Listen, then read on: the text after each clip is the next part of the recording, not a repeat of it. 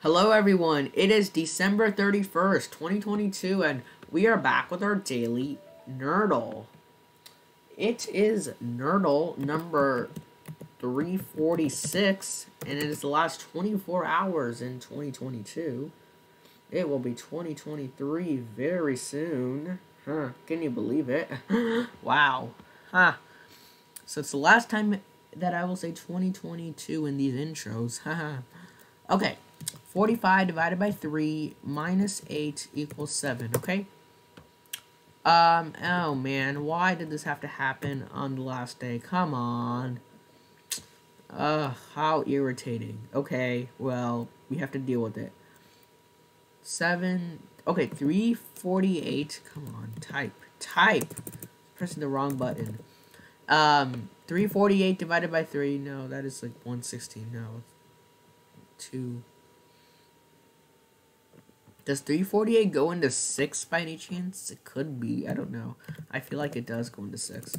It does. Okay, so this will be my eval. Okay. Oops, I need to change that to a 6. Okay, so this is a 4. That is pretty nice to know.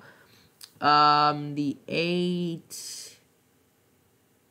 What is this going to be? This can't be a 7. Uh, but it can be a 3. Three is only one of these three spots. Okay, let me see some possibilities for these numbers. So, um, it could have an 8 and a 3, actually. That is not, that's possible. This can't be a 3 in this set 8. But then would have a double, I mean, that's possible. It's not like that's not possible. Um, and then what do we have? Oh, we're missing a 7. So what? Let's do 73 times 8. I'm 2. I'm just going to look it up on a calculator. 584, so that's not possible. But if I do 744 divided by 8, that is 93. And that actually fits. Wow. That is awesome. Alright, let's go with that. Oh, that was not the answer. I was too confident. okay, but we're very close. So this is an 8 by process of elimination. And this cannot be a 9 because 3 9, this would be a 7. So, actually, where did I get that from? This can be a 9. Then this would just be a 7. We don't know what this is. I don't know. I'm just not going to calculate and just do it. Okay.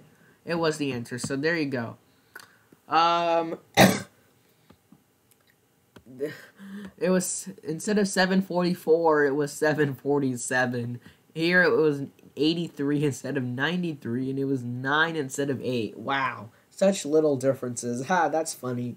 But we got it in 5. That is not bad. I mean, I considered that not too good, but it's okay. Better than a 6, and I had gotten in a, I had gotten a 6 a couple of weeks ago. that was not good. I think it was just actually could have just been last week. I'm not sure. If you want to see more videos, please subscribe. If you have any questions or comments, please put those below. And as always, thanks for watching. Bye bye.